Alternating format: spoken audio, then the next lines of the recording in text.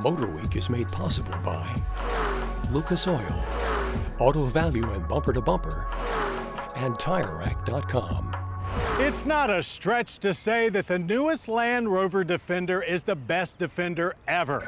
The Land Rover has a different kind of stretch in mind for their latest Defender, the kind that enables you to bring more people along for the ride. So join us for an adventure in the new Defender 130.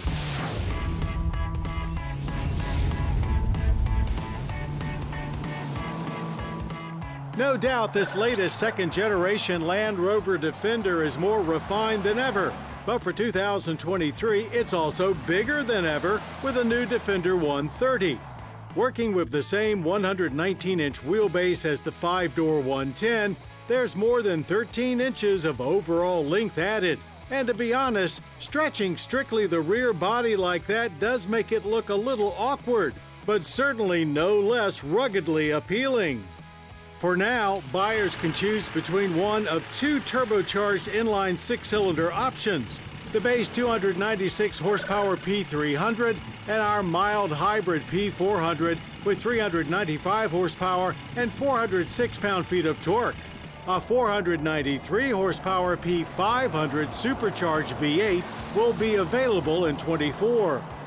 Regardless of which route you take, there's more than enough grunt to move this longer 130, which is heavier than the 110 by only a couple of hundred pounds. Power delivery is smooth and steady, aided by the mild hybrid system, which is primarily in place for stop-start, but can add a little extra oomph at launch to cancel turbo lag. But it's really all about adding more space inside. So a third row is standard, featuring belts for three, providing seating for a total of eight passengers relatively comfortably.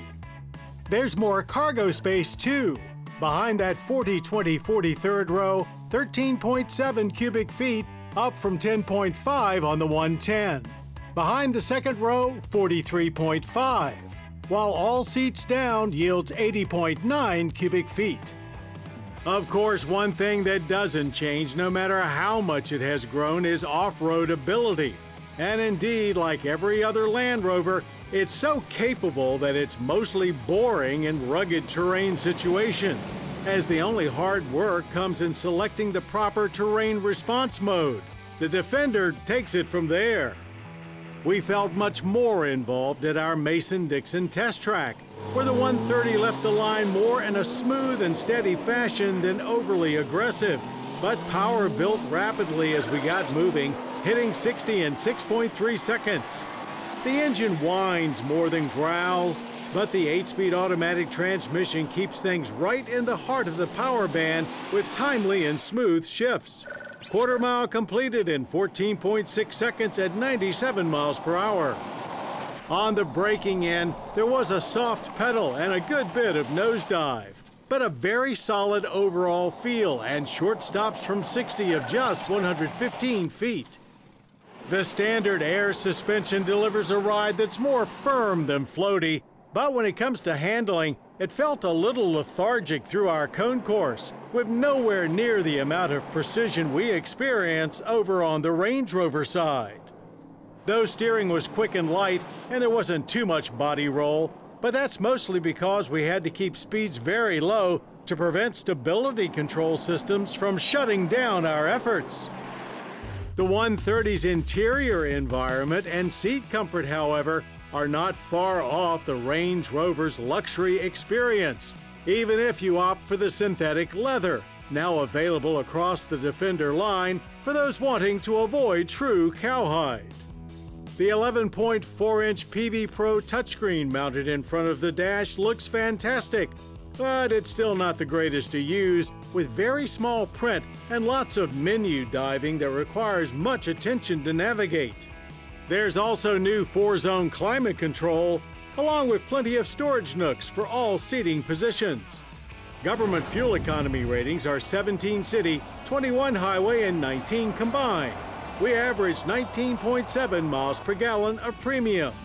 Still, it's just slightly below average on energy impact score, burning through 15.7 barrels of oil yearly with 7.9 tons of CO2 emissions.